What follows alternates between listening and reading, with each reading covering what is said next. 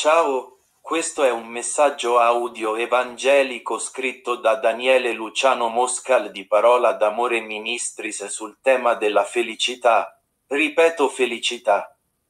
Beato colui la cui trasgressione è perdonata, il cui peccato è coperto.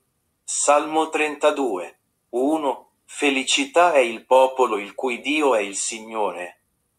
Salmo 144. Chi ascolta la parola con saggezza troverà il bene, e chi confida nel Signore è felice. Proverbi 16 e 20. A Liverpool, in Inghilterra, c'era un famoso e amato comico di nome Sir Ken Dodd che aveva una canzone popolare numero uno intitolata Felicità.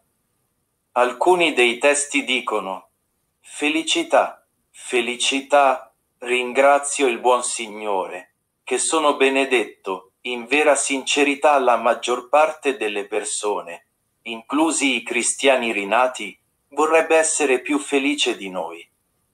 Ma come?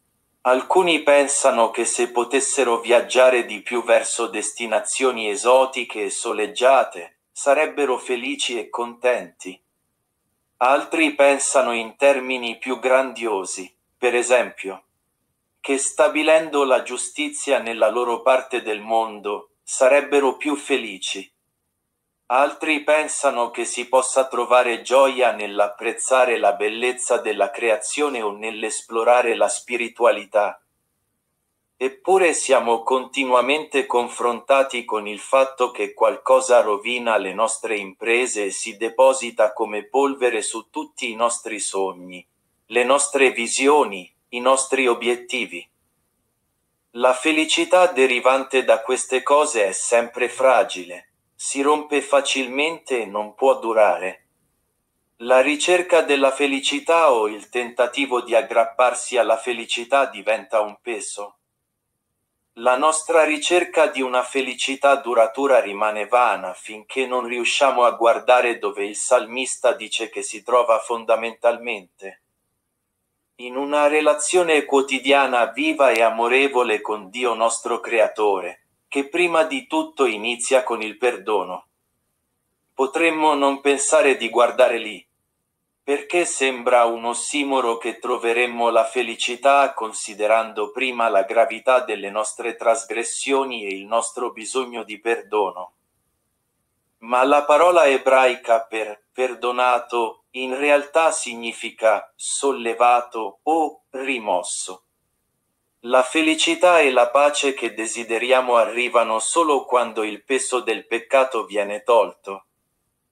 E allora siamo liberi di godere di tutto ciò che la vita offre, senza chiedere alle cose o alle persone create di sopportare il peso di essere la fonte della nostra gioia suprema. Questa verità era l'esperienza cristiana di Agostino. Trascorse la prima parte della sua vita in un impegno sfrenato verso l'indulgenza. Poi, dopo aver letto la Sacra Bibbia e aver incontrato Dio nella sua parola, emerse dalla sua foschia, scrivendo in seguito, O Dio, i nostri cuori sono inquieti finché non trovano riposo in te. Credi in ciò in cui credeva Agostino? La base della sua affermazione si trova nel versetto iniziale del Salmo 32. Non hai bisogno di camminare nella vita gravato dal peccato e dal dolore. Perché Dio ti ha offerto il perdono e una relazione con Lui tramite Gesù Cristo di Nazareth.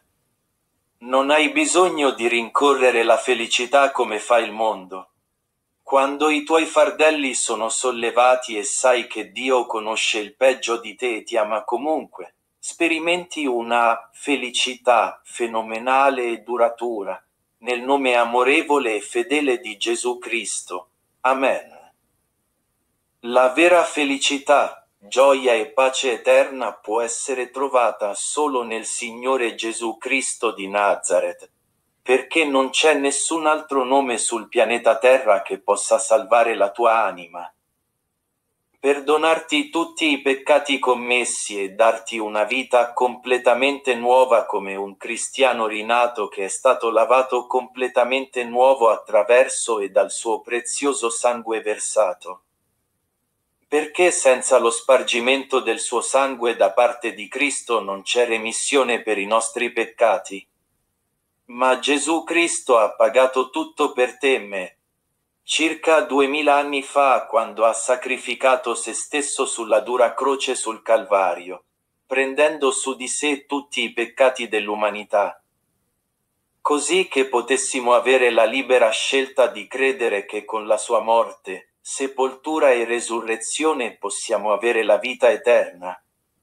Invocando il suo nome misericordioso e amorevole, e confessando con la bocca e credendo nei nostri cuori che veramente Lui è Gesù il Cristo, nostro Signore e Salvatore, saremo salvati. Amen. Se sei stato benedetto da questo messaggio audio del Vangelo, iscriviti al nostro canale YouTube, metti mi piace o commenta. Molto apprezzato. Dio ti benedica. Da Daniele Luciano Moscal di Parola d'Amore Ministris. Grazie mille. Ciao amici. Bye bye for now. Dio ti benedica.